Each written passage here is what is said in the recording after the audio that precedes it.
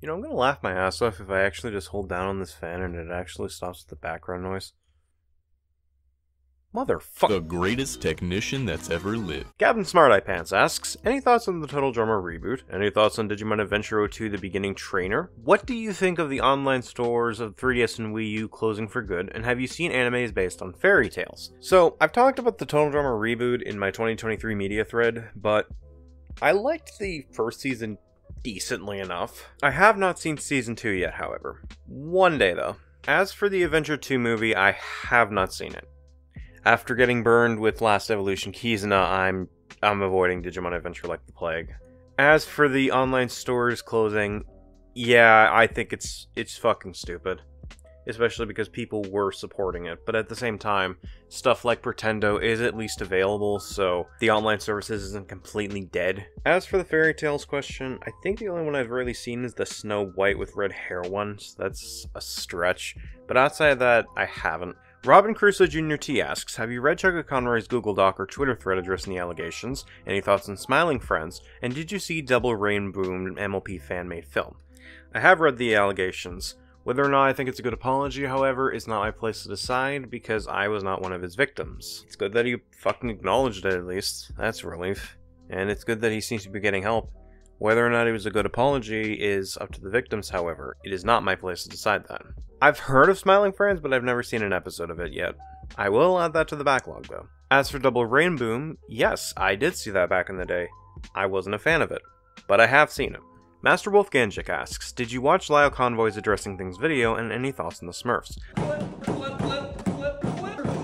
I have seen Laya's video addressing the allegations, and it's good that he's finally addressed them after a couple of months. Now, whether or not he's being truthful, we'll see in due time, but for the moment, I'm glad that he's at least addressed it. And we'll see what happens going forward, effectively. Maybe he's lying, maybe he's telling the truth. We'll see in due time. But I'm glad that he's addressed it. That's good. As for the Smurfs, they're fine. Wasn't really my thing growing up, but it's fine. Comment Homer Simpson asks, Did you see Doodletone's video on Raven Pines and Lio Convoy as well as the live stream with Lio Jaranakumu? I have seen Doodle's video regarding Raven Pines and Lio Convoy a couple of times, and I think it's good. As for the live stream with Lio Jaranakumu, I have not seen the video, largely because there were so much videos going over Lio and Peaches at the time that I just tuned out after a while, and that also meant the Lio Jaranakumu live stream. So I've seen the Doodle video, have not seen the live stream. AJustice90 slash Monster Tamer AJ asks, like Taco Draws Obsidian Blaze, what are some original projects made by artists you follow that you're interested in? Thus and all the multiverse stuff everyone's trying to do these days. What's a show or movie that you had no expectations for but turned out to be really good? What are some of your guilty pleasures and favorite Superman moment? Yes, I have been reading slash watching some original projects made by artists that I follow that I'm interested in, one of them being Gun Kitty, which I've talked about several times. Another one is Roomies by my good pal Emerald, which you should see. Another is Feelings Wanted to Change by my good friend Ritsu, which is available on Tapas as well as Webtoon, I believe. So that's some really good stuff. Outside of that, uh, there's Elemental Neo by my good pal Bolt. So I've been reading that. Good stuff. Just off the top of my head, effectively. Um, I'm sure I'm missing some others, but yes, those are some of the projects that I do enjoy and I have been reading slash watching. It's a hit or miss when it comes down to multiverse stuff. Sometimes it can be really good, like with Invincible stuff, but other times it can be Dragon Ball Multiverse, aka a hot pile of garbage. As for sure, a movie that I had no expectations for but turned out to be really good, Mario movie, 100%. Either that or the Death and Return of Superman duology, the animated one, because I thought those two were going to suck, but no, they were actually really good. So I'll go with those. Uh, Guilty Pleasures. Uh, there's a couple of volumes of RWBY that I like that the other people seem to hate. And as for favorite Superman moment, Dreams save us. Dreams lift us up and transform us into something better.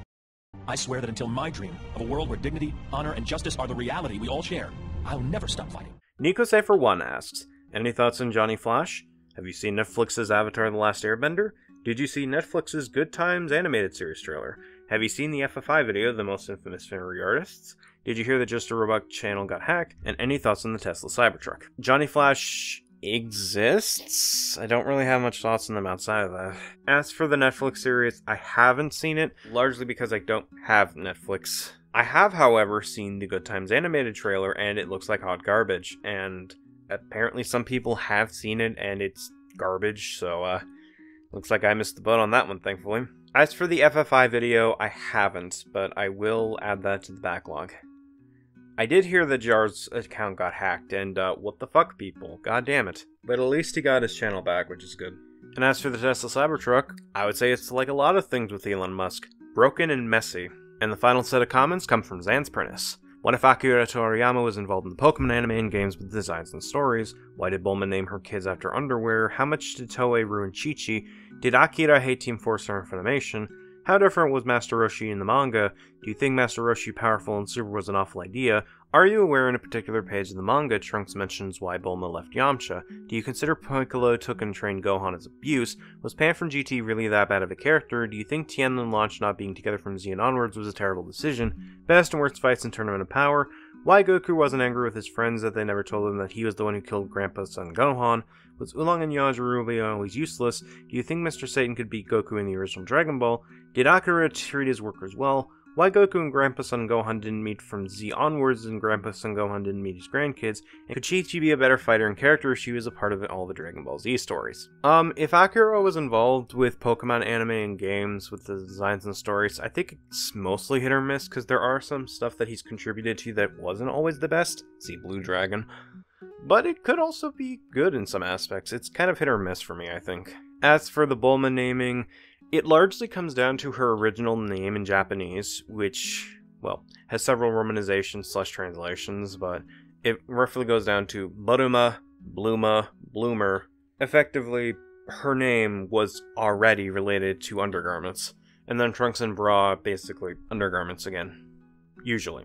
As for Toei ruining Chi Chi, they effectively just upped her negative traits, like her screaming, her bitching, effectively making her into a caricature of what she was at the end of the Piccolo Daimao saga slash King Piccolo saga, as well as the early portions of the time skip that, well, we Americans know as Dragon Ball Z. The Raditz stuff, the Saiyan saga, what have you.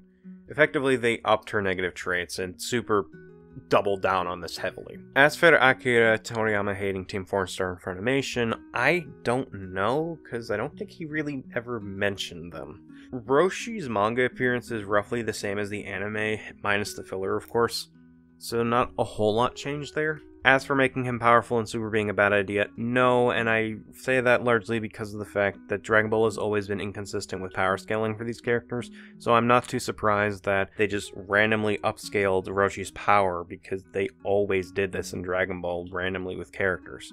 As for your seventh question, if I remember correctly, that largely boiled down to him being a playboy, and I'm sorry, that was just fucking stupid. As for Piccolo taking and training Gohan as abuse, yes, that's basically what he did. I know he had his reasons, but he did treat Gohan terribly, so yes, I would qualify that as abuse. Was Pan from GT really that out of a character? Yes. Yes, they did. Absolutely. She was so annoying, she barely did a whole lot throughout the series. She was bad. As for Tien and Launch not being together, I don't think it was necessarily a terrible decision, largely because of the fact that the relationship was just whatever.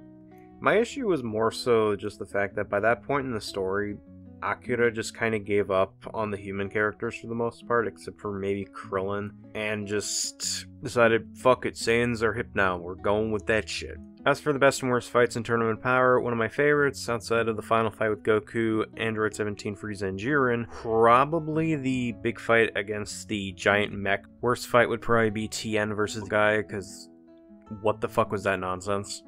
Either that or the whole fight with the bugs, that was just dumb. As for Goku not being angry, I think it's largely because his friends had no idea regarding Grandpa Gohan's fate. Only Goku did, and that's only after, like, the Oozaru transformation from Vegeta. As for Oolong and Yajirobe being always useless, sort of. I think there was a couple times where Yajirobe helped out, like with Senzu Beans, and I think there was a time when he helped Goku during King Piccolo's arc, but that's about it. So, yeah, he was pretty much useless, as well as Oolong, for the most part. Except for, like, maybe one moment in early Dragon Ball, which was to stop Pilaf from getting his wish, but that's about it. And as for Satan beating Goku, no.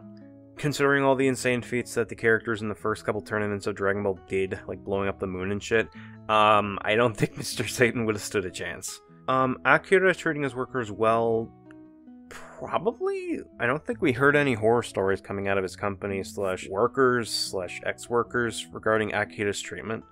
So it's possible that he was fine. It's hard to say. Um, as for Grandpa Son Gohan not meeting from Z onwards. So initially the reason was no idea. Lazy writing. But I guess we did kind of get an explanation much later on, thanks to the Buu saga, in which Goku returned for a day. So it's probably a situation of Grandpa Gohan got to come back for a day, and that's about it. And then once his time was up, he couldn't return, so that's probably why. As for your last question, it's possible, but it's also very much possible that she would have also fallen by the wayside, similar to the likes of Tien, Yamcha, and Krillin, especially as he went on.